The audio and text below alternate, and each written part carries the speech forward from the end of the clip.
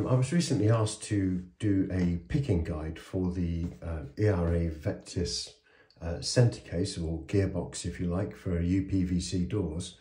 Um, but before I go down uh, that wormhole I thought it might be a good idea just to go over the ERA uh, centre case um, and talk about uh, the way that it works and the different options you have for configuring it but also um, how it can fail because this uh, Vectis doesn't have a very good reputation. Um, but it's not just, the way that this fails is not just isolated to this particular center case. So let's just move that out of the way.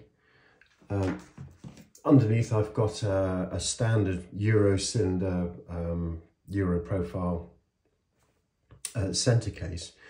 And uh, this particular center case can be configured in any one of a number of ways.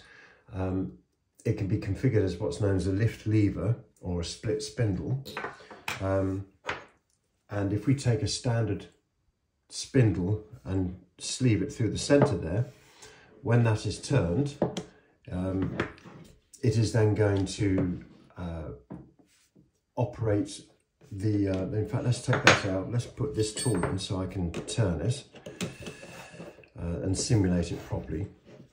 So um, as you know, when the handle's lifted up, the uh, multi-point lock mechanism is activated in the door, which is normally obviously bolted onto the front of this, the faceplate. Uh, and if you look, you can see these two components here in the in the center case obviously move in and out, um, and they are uh, deploying the hooks or rollers or um, deadbolts in the uh, in the multi-point lock depending on how it's configured.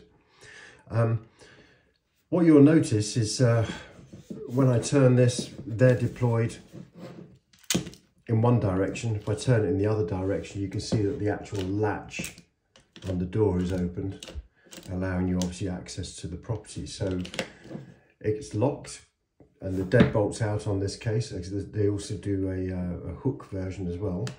And then when you unlock it and push the handle down, the latch obviously allows the uh, the person to get into the house.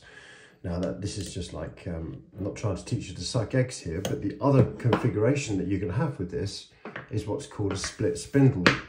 And this particular spindle, compared to the solid version, actually rotates about the middle. So each half of it can rotate separately. And when that's positioned inside the uh, inside this center case, um, one half of it will operate uh, one side of the lock and the other half will operate the other side of the lock. Um, and what does that mean? What does that allow you to do? Um, what it means is that with just one handle, you don't need to have a separate paddle um, as you would have on a, um, a dual follower on a, on a, a center case. On this one, we can operate just one half and that one half will retract the latch and it will deploy the entire multi-point lock mechanism. But the other half, and effectively this would be the exterior side, deploys the multi-point lock, uh, multi-point mechanism, but you can see that it does not operate the latch. So this means that when the door is closed um, and the person's left the property, they're not actually going to be able to get in using the handle. What they're going to have to do is they're going to have to insert a key into the uh, center case. And as you can see, uh, this is simulating the cam on the Euro cylinder. So effectively, the end here is like the key. And you can see the key is allowing us to, uh, to operate the latch. So it's like an, an additional um, security feature where when the door is closed but not locked, um, you still need the key to be able to get in from the outside, but you can still operate the latch from the inside. And that's what that split follow is all about. So let's have a look inside this center case. I've taken most of the screws out. I've just left two in here. Um, what have we got inside here and how does how does it allow this to work in a, um, uh, a lift lever or a split spindle kind of way? So if we take that uh, cap off, what you can see inside, this um, gold coloured part here is called the strap and it's the entire strap that moves up and down um, that operates the multi-point uh, mechanism inside your door. So the bottom half of it would be sleeved over here and the top half would be sleeved over there. This mechanism here is solely for reversing the direction of this uh, of this uh, top part here. So as that moves down, that needs to move up so that they operate the mechanism. So this is effectively just a reversal mechanism. Now, if I uh, push down on this, uh, you can you will see as that goes moves down. This is obviously moving up. This is moving down.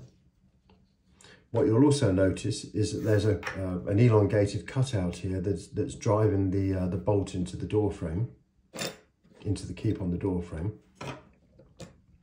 Um, and then when that is fully deployed, the door can then uh, be, this can be then secured in that, uh, in that deployed position by operating the lock. So what happens there, let me just take this strap off. I'll explain what that's for in a second. This part here is uh, operated by the cam on the Euro cylinder. So when the um, lock, uh, when the uh, mechanism is unlocked, so let's just move it to the unlock position.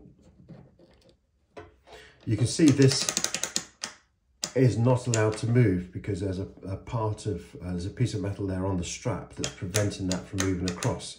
So if you ever try and lock a multi-point uh, mechanism when it's not been deployed, you'll notice that, that uh, you can't lock it. And that's the reason, that's blocking it. If we then push this all the way down into the locked position,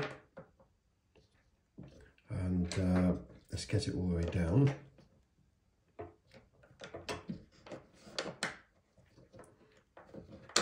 There we go. When that's all the way down in the locked position, what you will now notice is that this mechanism here can slide across and when it has uh, slid across you can see that this piece of metal here that was blocking it from being locked just now is now actually blocking the entire mechanism, the strap, from moving upwards. So in other words, you can't unlock the door. So, so this is the part of the lock that operate is operated with the cam on the Euro cylinder. Typically it pushes that up. There we go, it's all in pieces now. But typically it pushes that up. It slides across and then it drops back down again. And you'll notice here in the cap, there's like a, a, a little sort of cutout there with this um, piece in the middle that, that it jumps over when it's in unlocked and then it's in the locked position. So I took this off just now. What does this do? Well, this is the part that uh, allows when the um, uh, when the mechanism is unlocked. So let's just push this into the into the unlocked position. There we go. Let's just pop that back in where it belongs. So when the uh, door is in the unlocked position, if you were to then carry on turning the key in the lock, the cam pushes this part across and unlocks it. It spins all the way around and then it pushes up on that part there. Uh, that's hinged through a little pin here inside the hole in the case. And what that does then is it, is it operates this uh, latch mechanism here.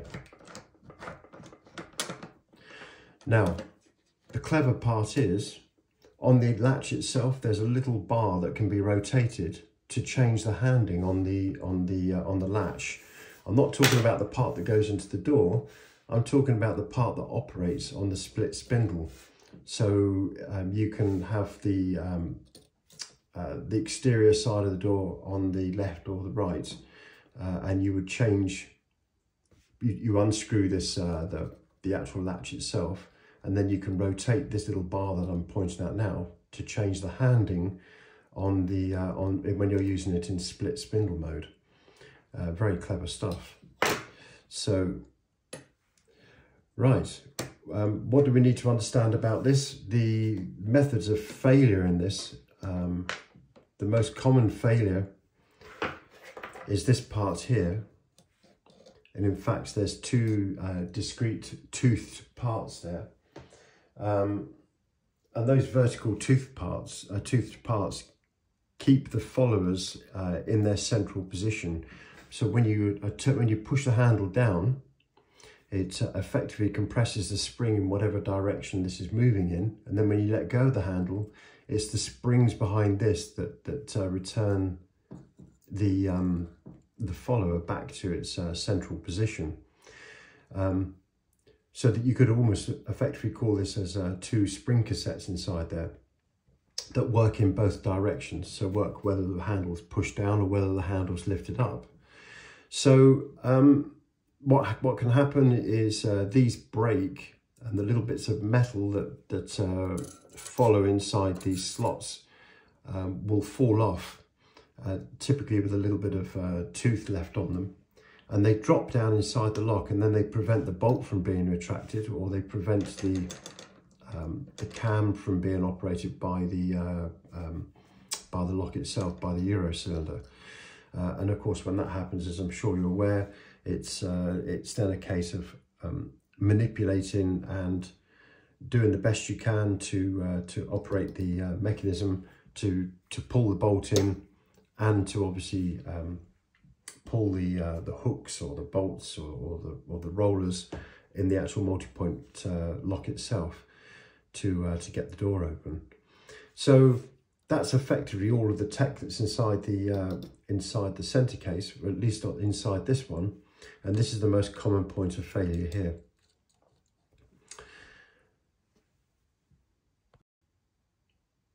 Right, I've just uh, put this back together again and uh, I thought I would um, just add that uh, it's a great idea to take one of these apart yourself uh, and do the best you can to uh, put it back together again so that it's uh, in full working order because there are times, uh, for example, I've had times when I've been on a door, um, I've had a 35 mil back set with this uh, part here broken on the back.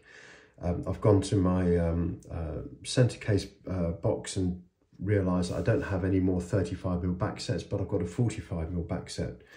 So what I've actually done in the past is uh, is done a center case transplant, so taken this completely apart, um, swapped parts over, so that you've got a working uh, a working center case uh, and then pop that back in the door before you go and order the, a brand new one to with a warranty of course um, but it's it can dig you out of a hole if you know how these work by uh, taking them apart and uh, putting them back together um, and uh, investing that time in improving your knowledge. So if you get stuck on a door uh, you have uh, lots of different options. Just another thing to add, when you go to uh, a door that um, is not locking properly, uh, if you lift the handle uh, when the uh, door is open and you can lock it, but then when you close it you can't, uh, the reason you can't lock normally is because when these parts, uh, when the strap is operated by the handle, if it's not if the uh, bolt, for example, or other parts of the uh, locking mechanism are not fully deployed, if you look down here, you can see this part here obstructs the locking mechanism, so you can't lock it. So everything needs to be fully deployed all the way before you can then um, lock the door with the uh, with the key. So the reason you're not able to lock is because the uh, mechanism is not fully deployed and the door will obviously need some sort of adjustment. And here we can see I've put a Euro cylinder in. You can see the cam here is a thumb turn so I can operate it from the back. When the key is put in and you turn, you can see the first thing the cam does is it lifts up that central portion, which then allows the cam to engage with what is effectively a talon and slide that part across and then it drops it back down. And that is now as you can see in the locked position and preventing the strap from moving. And then to unlock the door is the reverse. You can see the cam. First of all lifts this part up